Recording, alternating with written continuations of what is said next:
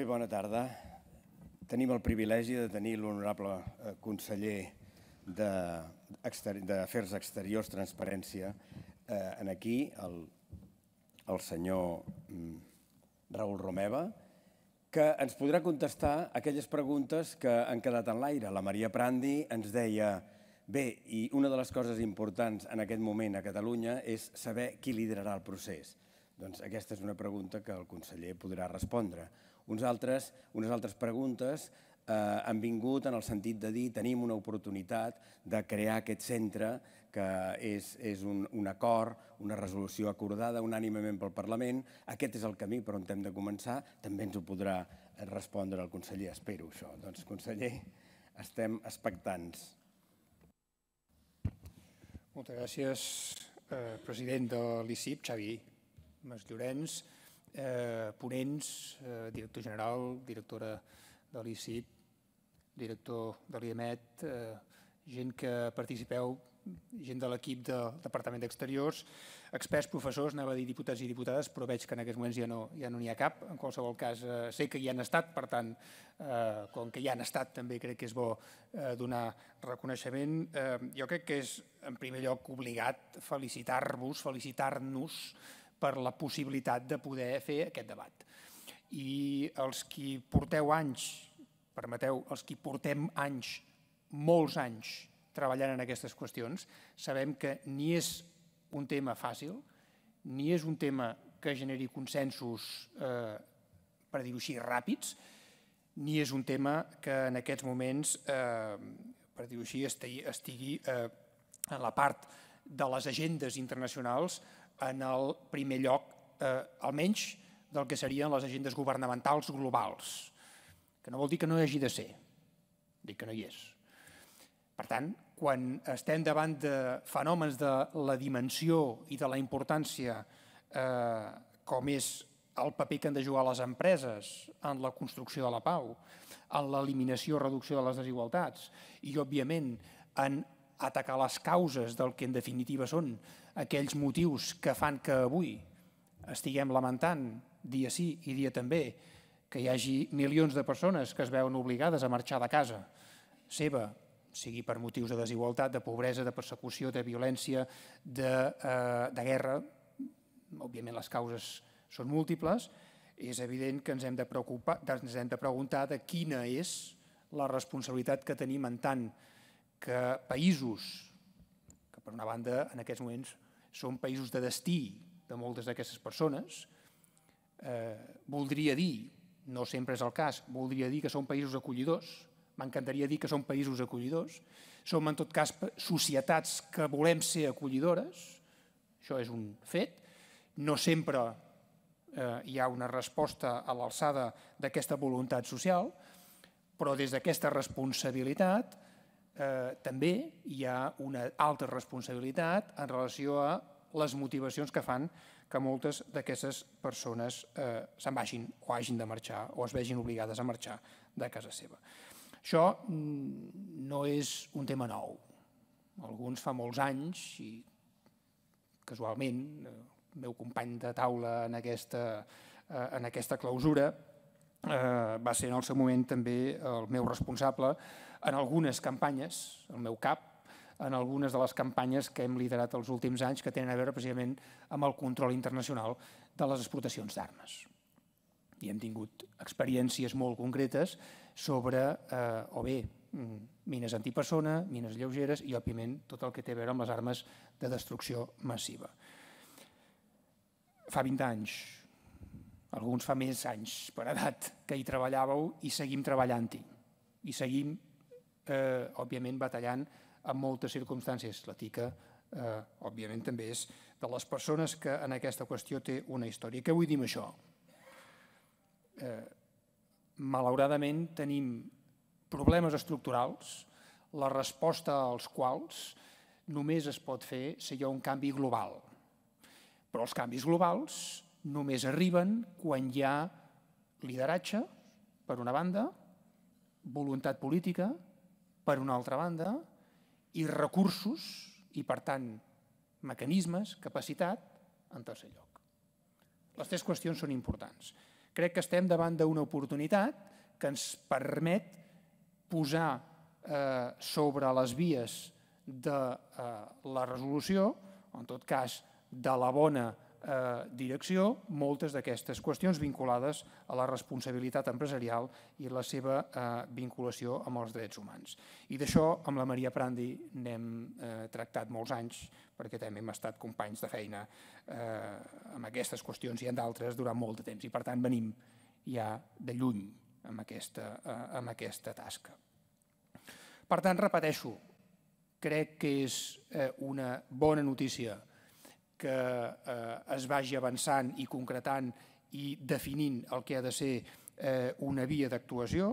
Crec que és una bona notícia, i aquest és un element també important, que diferents actors conflueixin cap a aquest objectiu, perquè al final les coses passen quan hi ha moltes sensibilitats diverses que participen d'un mateix eh, d'una mateixa diagnosi i, per tant, també d'una mateixa voluntat de construir una eina, un relat i una estratègia compartida i per tant això mm, crec que és una de les vies per les quals eh, podem arribar a trobar solucions. És imperatiu quan parlem de la responsabilitat eh, de les empreses a escala internacional que siguem conscients de quin és el marc en el qual ens movem perquè per tenir la bona diagnosi, la correcta diagnosi, la diagnosi que ens ha de permetre afrontar la qüestió d'arrel, hem de ser absolutament, eh, jo crec, ambiciosos des de la perspectiva i la dimensió que aquesta eh, qüestió eh, té. És un tema que a poc a poc està entrant a les agendes multilaterals, ho hem vist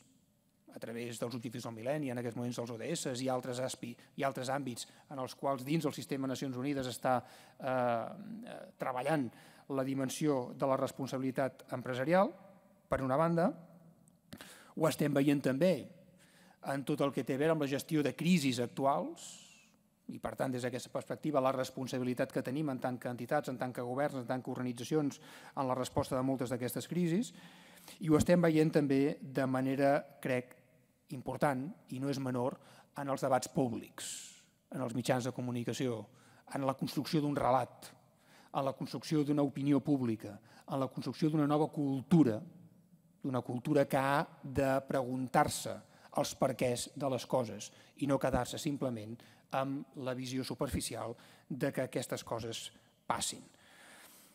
Un primer exemple d'aquesta centralitat eh, pel que fa a les qüestions de paper empresarial o empreses i drets humans, el tenim, per exemple, en el Consell de Drets Humans, eh, Consell de, eh, de Drets Humans de Nacions Unides, en el marc dels principis rectors de les empreses o sobre empreses i drets humans. Això parlo del 2011, no fa tant de temps, tot i que, òbviament, ja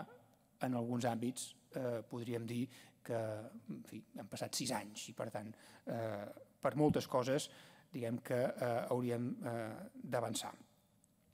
Però també és important eh, esmentar, i en aquest cas eh, crec que és eh, també rellevant, que tenim un fòrum de les Nacions Unides sobre empreses i drets humans, i aquest és més recent, aquest és el que s'ha produït a Ginebra, una estratègia renovada, en aquest cas de la Unió Europea, pel 2011-2014 sobre responsabilitat social de les empreses, i el Consell d'Europa, que també hem esmentat o heu esmentat, heu esmentat en la intervenció anterior. Sabem que en aquest marc, un país com Catalunya, de la dimensió mm, eh, que té Catalunya i amb les eh, possibilitats que té Catalunya en el marc europeu i en el marc global, pot jugar-hi un paper. És més, hi ha de jugar un paper. Amb la humilitat del paper, eh, o en tot cas de la dimensió que com a país tenim, d'això també en som conscients, però eh, que no ho puguem fer tot, que no ho puguem fer tot ara,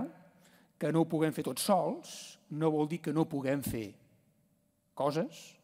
que no puguem fer coses concretes i immediates i que no puguem fer eh, una eh, funció de lideratge que és necessària, com deia abans, de cara a aquesta transformació global no és un tema que sigui aliè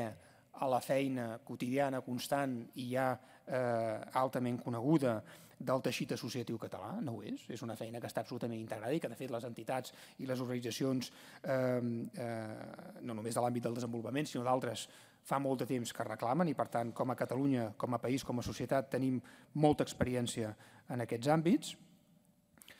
Tenim, comencem a tenir eh, textos amb dimensió parlamentària, legal, que clarament marquen la línia que cal eh, que cal seguir i això, evidentment, com deia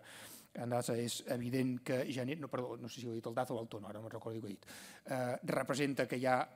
un consens al darrere també polític important, en tot cas, és igual, tant me fa, eh, estic d'acord qui ho hagi dit. Eh, hi ha un consens polític al darrere que eh, ho posa en valor. Crec que és important eh, posar de manifest que eh, en aquests documents eh, que estem treballant i que estem eh, clarament posant en evidència o en, en valor té a veure amb els principis rectors de Nacions Unides pel que fa a la internacionalització de l'economia catalana, que no és un tema, per dir-ho així, eh, que pugui anar al marge del que és la política exterior. De fet, per això des d'exteriors hem volgut assumir la responsabilitat de poder eh, contribuir a aquesta, a aquesta eh, tasca o a aquesta reflexió en relació a la coherència de les polítiques exteriors, perquè, òbviament, quan un ha de reaccionar a les coses que passen fora, ho ha de fer també sent conscient del paper que ha jugat en tant que actor en allò que està passant a fora. Per tant, hi ha un vincle des del eh, punt de vista institucional que hem de poder posar en valor. I per això la llei d'acció exterior, per això la llei d'acció exterior, que és l'àmbit que em toca més directament acompanyar, igual com és el pla eh, director de cooperació al desenvolupament, tenen molt present aquestes eh, exigències pel que fa a la coherència de polítiques. No és casualitat, és un mandat molt clar, és un mandat molt específic i és un mandat que ens interpel·la que ens interpel·la com a administració i que ens interpel·la, en definitiva, eh, com, a, eh, com a país. Jo volia, en tot cas, fer un seguit d'esments i tenen a veure amb algunes de les qüestions que eh, en fi, tenia algunes idees apuntades per esmentar, però que les adaptaré a les reflexions que també ara al final fèiem, que feia Antoni Pigrau, però que també s'han fet en el, en el torn de preguntes, almenys en el que he tingut ocasió d'assistir. Eh, la primera i la premissa més important amb la qual nosaltres hem d'enfocar aquesta qüestió rau en afrontar la complexitat com una oportunitat. Per què dic això? Perquè massa vegades ens amaguem darrere la complexitat per justificar la paràlisi. I jo sóc dels que defensa sempre, en tot cas em sumo, no és que ho digui jo, és que em sumo els qui pensem o els qui creiem que la complexitat és un fet, inqüestionable, ineludible, mm, però que no pot ser una excusa per no afrontar decisions concretes i específiques, malgrat que cap d'aquestes decisions concretes i específiques siguin en elles mateixes la solució. És a dir, si som conscients que la complexitat és una realitat que cal afrontar i si som conscients que aquesta complexitat es pot declinar en accions concretes, llavors podrem ser molt més eficients i molt més eficaços a l'hora d'emprendre accions, perquè aquestes accions les veurem no com a fórmules màgiques que resolguin el problema, sinó com a instruments que han de permetre que el problema s'afronti i es canalitzi i es condueixi en la direcció correcta. Per tant, ni excuses, les coses són complexes, ho han estat sempre i ho seran sempre, ni excuses,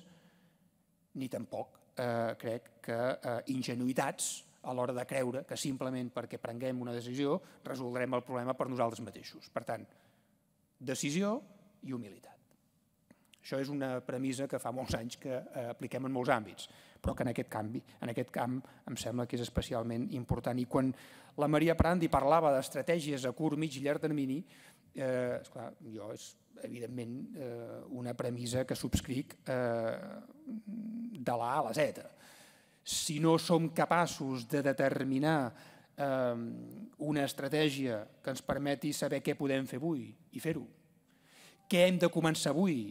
per veure els resultats a mig termini i què hem de liderar avui perquè a mig i llarg termini veiem els resultats, difícilment podrem encertar la eh, praxis perquè la diagnosi, òbviament, serà eh, errònia. Però repeteixo, es poden fer coses, s'han de fer coses i s'estan fent eh, coses. De manera eh, concreta, quan nosaltres parlem de la voluntat d'afrontar un canvi de valors, que per mi és el punt de partida de la reflexió. No es tracta de que ens posem d'acord els que estem aquí. Dedueixo que si heu vingut a un seminari d'aquestes característiques és perquè, com a mínim, teniu interès en la qüestió. I això ja és, òbviament, un fet significatiu. Mm, però aquest no és un tema que estigui movent masses arreu del món, pel que fa a la causa. Si ho fa, pel que fa a les conseqüències. Si ho fa pel que fa a les conseqüències. El que cal és fer-nos conscients com a societat de que aquelles conseqüències que lamentem, aquelles conseqüències que critiquem, que condemnem, també tenen unes causes de les quals en som part. I aquest canvi cultural, que aquí el podem tenir molt clar, fora d'aquí no és tan evident. Per tant, hem de partir. Toni, Grau, Toni Pigrau d'Educació en sap un rato i, per tant, eh, és, crec, una de les eines que hem de tenir més presents a l'hora d'afrontar aquesta qüestió. Mm, no és un tema fàcil. És necessari, és imprescindible, és urgent, sí, però no és fàcil i no és immediat. El canvi cultural no és immediat. Per tant, la primera qüestió és aquesta. I això ens obliga a afrontar-lo en tant que consumidors, en tant que productors, en tant que administracions, en tant que eh, tot cas, eh, consumidors de mitjans de comunicació i, per tant, en tant que emissors d'informació, i, per tant, és un canvi cultural que és necessari afrontar-lo. Hi ha un segon element que a mi em sembla també important, que té a veure en com eh, des del govern es pot afrontar eh,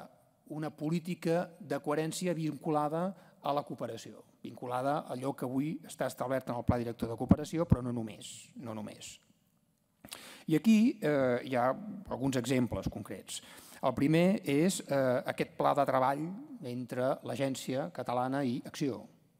És evident que Acció és un actor fonamental en aquest procés. És evident que Acció té unes funcions i unes, mm, i unes, eh, i unes eh, eh, vocacions a escala, a escala de promocionar i exportar l'economia i les empreses eh, catalanes, i al mateix temps, també, eh, si ens creiem això que estem dient, eh, ho hem de fer de manera corresponsable amb una altra de les funcions que com a administració tenim, que és la cooperació. No poden ser dues mans que eh, vagin separades l'una de l'altra. Això és el que moltes vegades es produeix i el que moltes vegades lamentem. És important que hi hagi, òbviament, un pla de treball conjunt i que, eh, òbviament, es vagi actualitzant a partir de les eh, eh, novetats que es van produint. Per tant, aquesta és una voluntat que nosaltres tenim, en tant, com a en tant que departament i en tant que govern, de poder consolidar. El segon és el grup de treball de sensibilització de les empreses a les empreses en el marc del Consell de Cooperació. Aquest és un marc eh, que a més a més ve a demanda del Parlament de Catalunya i per tant és un marc eh, en el qual nosaltres podem també eh, en fi, contribuir a que hi hagi una millor eh, coherència amb tot allò que cal fer. Això exigeix una premissa, que no és menor. O hi són tots els sectors implicats o no serveix. O tots els actors que tenen un paper d'alguna manera, en algun moment o des d'alguna perspectiva en aquest plantejament o no, o no serveix. És a dir, només pot ser útil una eh, visió d'aquestes característiques si implica a tothom que ha d'actuar i que té un paper en això. Eh, I per tant, és legítim agrair i, i, i reconèixer i saludar i convidar la participació de tothom en aquest àmbit, que són ONGs i, per tant, entitats, també empreses, departaments, sindicats i qualsevol eh, actor, inclòs les cambres de comerç, que poden i han de eh, fer-se seus aquests plantejaments. I quan parlàvem del bottom-up, parlem d'això. Parlem de construir alguna que sigui no només legítim i èticament eh, necessari, sinó que es posi en pràctica. I només es posarà en pràctica si aquells que ho han de posar en pràctica eh, han format part del procés d'elaboració d'aquestes mesures.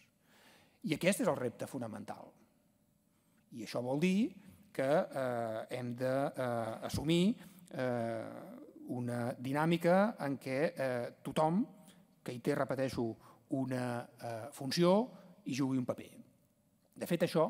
en gran mesura, també és el que des de l'ICIP eh, esteu treballant, amb una línia de treball específica eh, i que eh, en el pla d'actuació preveu precisament la possibilitat d'avançar en, aquesta, en aquesta línia. I crec que és en aquests moments eh, més necessari que mai que puguem donar suport a aquestes eh, accions. Tot això, eh, a més a més, necessita un marc que ens permeti marcar les línies de com s'ha de fer. I per això, mm, quan parlem de, eh, del codi ètic, mm, que s'ha encarregat a la Universitat Rovira i Virgili, eh, jo crec que és eh, el punt de partida necessari i imprescindible per saber quin és el marc en el que ens hem de moure, per saber què es pot fer, per saber què s'ha de fer i per saber qui ho ha de fer. Eh, aquest codi ètic sabem que no és per si mateix la solució de res, però és el marc en el qual hem de poder moure'ns per poder saber cap a on anem. Quan eh, a principis dels, de 1990, dels anys 90, començàvem a parlar del codi ètic sobre les exportacions d'armaments, sabíem que allò no aturaria les exportacions d'armes, però sabíem que allò era l'eina que ens havia de permetre eh, avançar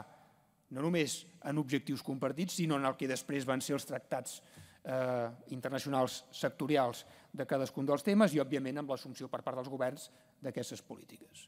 Per això serveixen els codis. Per això serveixen els codis. I per això és important que comencem fent la feina ben feta des del punt de vista de l'anàlisi, de l'agnosi i, òbviament, de dibuixar els marcs que s'han de, de fer. Per tant, aquí jo crec que hem de posar en valor i posar eh, de manifest aquesta, eh, aquesta feina que s'està fent i que, i que, per tant, per part del govern entenem absolutament i sumament eh, fonamental. Aquest Parlament, i aquest és l'altre àmbit important, el legislatiu, alguns de vosaltres ho heu esmentat eh, aquesta tarda, però segurament pel que he sentit en la reflexió que feia, o en el resum que feia Antoni, eh, també al llarg d'aquests dos dies, eh, aquest Parlament també té una funció. Sense lleis, sense normes, que siguin obligatòries, que siguin vinculants, amb capacitat no només eh, de definir, sinó de sancionar, eh, difícilment podrem avançar. Ja ho sabem que de vegades, fins i tot amb lleis, i fins i tot amb lleis amb capacitat sancionadora, eh, el problema no es resol. És evident, ja ho sabem, i ho lamentem en molts casos. Però sense aquestes lleis encara és més eh, problemàtica la qüestió i, per tant, és necessari que eh, entre tots assumim aquesta, eh, aquesta necessitat. I, per tant, és necessari que posem en valor eh, la feina de consens entre diferents sensibilitats polítiques, perquè efectivament, i el Toro feia una reflexió que jo comparteixo,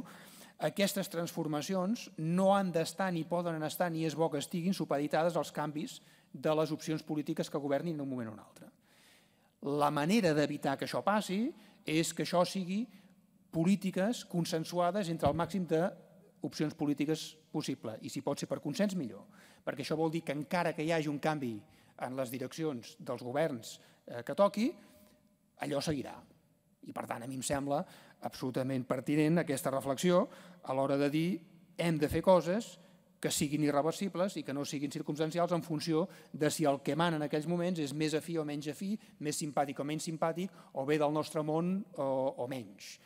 Per tant, hem d'aconseguir que quan tenim la possibilitat de poder tenir una sensibilitat determinada en, un, eh, en una institució, aprofitar-la per vestir aquelles estructures, aquelles pràctiques, aquelles dinàmiques que ja siguin irreversibles. I, i això ho dic amb tota la dimensió del problema, eh? amb tota la dimensió de la qüestió. Mm, al final, eh, no es tracta tant de qui fa què, sinó de si allò que es fa eh, és permanent o útil, o en tot cas sostenible. Ja no dic permanent perquè permanent avui en dia mm, no hi ha res, però en tot cas sostenible en el, en el temps. No? Per això una de les recents eh, aprovacions que s'ha fet és aquesta resolució sobre el Centre d'Estudi i Avaluació, del qual alguns eh, ja n'heu fet esment i que nosaltres entenem que és una de les, eh, en fi, de les iniciatives que almenys ens permet concretar en una proposta algunes de les coses que es poden fer i algunes de les coses que s'han eh, que s'han eh, com a mínim de valorar i d'estudiar. I per tant crec que en aquest sentit és una de les eh, idees que s'han posat sobre la taula i que reiteradament, eh, per dir-ho així, ens, ens recordem que a més a més no només s'han proposat, sinó que hi ha una demanda específica i formal en una resolució del Parlament que així ens, ho, eh, ens hi convida. Per anar concloent, eh, hi ha un tercer aspecte que a mi em sembla important recordar, que té a veure amb quines són les funcions que en tant que govern podem aplicar i aquí tornem a una altra eh, paraula que són també constants en altres àmbits, com és les bones pràctiques. Eh, ni som els primers, ni som els millors, però volem ser com els millors. Aquesta és la filosofia amb la qual alguns fem el que fem. Eh, per tant, humilitat no està renyida amb ambició. Que no siguem els millors no vol dir que no haguem de tenir l'ambició de fer les coses almenys com els millors. Per això és bo tenir eh, un bon marc de les bones pràctiques perquè si a algun lloc es fan les coses vol dir que es poden fer i per tant si es fa vol dir que nosaltres, si ens ho creiem, podem eh, fer-ho. Crec que l'anàlisi, i conec la feina de la Maria en aquest sentit i segurament de molts altres, de comparar i de valorar i de posar en valor el que estan fent altres països és el que nosaltres hem d'utilitzar també per inspirar el que nosaltres podem fer com a govern. Però repeteixo que això no només ens ha de portar a fer un treball eh, sectorial, sinó a tenir una visió que ens permeti avançar eh, des d'una perspectiva local amb una dimensió i amb una ambició global. És per això que de manera sintètica i resumida, i en tot cas intentant respondre algunes de les preguntes que directament s'han fet, però que en tot cas ja era la intenció eh, amb la qual nosaltres vam eh, voler contribuir a l'elaboració d'aquestes jornades i amb la qual volem contribuir a la concreció de les conclusions d'aquestes jornades, que com a govern nosaltres tenim la vocació clara d'elaborar una estratègia integral de tot això. No només perquè hi ha un mandat, no només perquè tenim la convicció eh, de que tenim una obligació, sinó directament perquè, eh, perquè ens ho creiem. Perquè ens ho creiem, perquè entenem que això ha d'anar per aquí, perquè hem vingut a fer una feina que clarament eh, és coherent amb el que eh, fa molts anys o durant molts anys moltes entitats i molts actors eh, han reclamat. Tenim previst que això ho puguem tenir a punt al voltant del mes de juliol i per tant estem treballant i des d'aquesta perspectiva nosaltres eh, ens hem marcat com a Departament d'Exteriors eh, i particularment a través de la Direcció General de Cooperació eh, un calendari que des d'aquesta vessant bottom-up eh, treballant amb tothom, tenint en compte les bones pràctiques, plantejant una estratègia curt, mig i llarg termini i, òbviament, amb ambició des de la humilitat, puguem disposar al mes de juliol d'una estratègia que clarament inclogui un codi ètic, amb el qual ja, eh, ja estem o s'està treballant, que inclogui els treballs que han de permetre mm, determinar i desplegar el que ha de ser un centre d'estudi i d'avaluació sobre els impactes de les empreses i, òbviament, mesures concretes per garantir, i aquest aspecte no és menor, la protecció dels defensors de drets humans i mediambientalistes arreu del món. Perquè aquesta és una qüestió que moltes vegades, malauradament, ha passat desapercebuda en, eh, en els grans debats, però que a l'hora de la veritat acaba sent, eh, en definitiva, una de les qüestions més eh, sensibles. Per poder fer això, és imprescindible no només que hi hagi una direcció, que assumim des de la direcció de cooperació, sinó que hi hagi una implicació de tots els departaments afectats, i això vol dir empresa i coneixement i eh, de tots aquells actors que d'una manera o d'una altra eh, puguin també aportar des de l'administració i al voltant de l'administració eh, una, eh, una, eh, una, una millora en la, en, la, en la dinàmica que estem, que estem duent a terme. També proposarem eh, al Consell de Cooperació el Desenvolupament un grup de treball, un grup de treball sobre sensibilització d'empreses per tal de que siguin les pròpies empreses qui assumeixin el eh, protagonisme en aquest, eh, en aquest procés. Això hauria de ser un espai de consulta. Això hauria de ser un espai de consulta eh, a nivell governamental, en tot cas de moment, i fins que prengui forma l'estratègia de govern pel que fa a, a quins mecanismes de participació es podem, eh, podem eh, plantejar. Però en tant que grup de treball, eh, de sensibilització, mm, el que, eh, el que eh, hem de fer és eh, mantenir un flux de comunicació constant i estar permanentment informats per tal que aquests avenços alimentin aquesta estratègia integral que estem, que estem, que estem conduint. Per tant, de manera ordenada, de manera reflexiva, de manera holística i, per tant, atacant tots els plantejaments eh, que s'han fet en aquesta jornada, de manera decidida, decidida. I, òbviament, amb tota l'ambició del món, eh, nosaltres eh, encapçalem aquesta eh, iniciativa, intentem o voldrem, o amb la vocació de que sigui eh, fidel al que s'ha després de les reflexions que heu fet aquests dies, agraint novament el compromís que durant aquests anys heu fet i heu demostrat i seguiu demostrant, i òbviament posant el govern de la Generalitat a disposició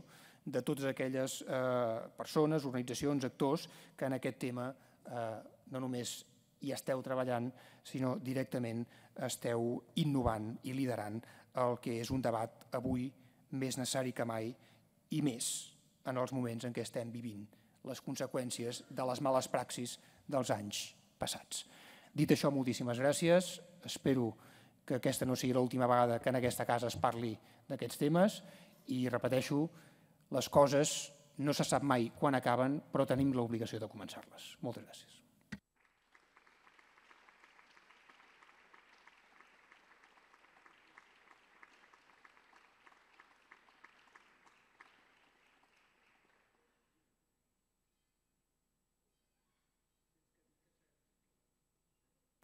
Moltes gràcies per la vostra assistència aquests dos dies i aixequem la sessió i see you soon.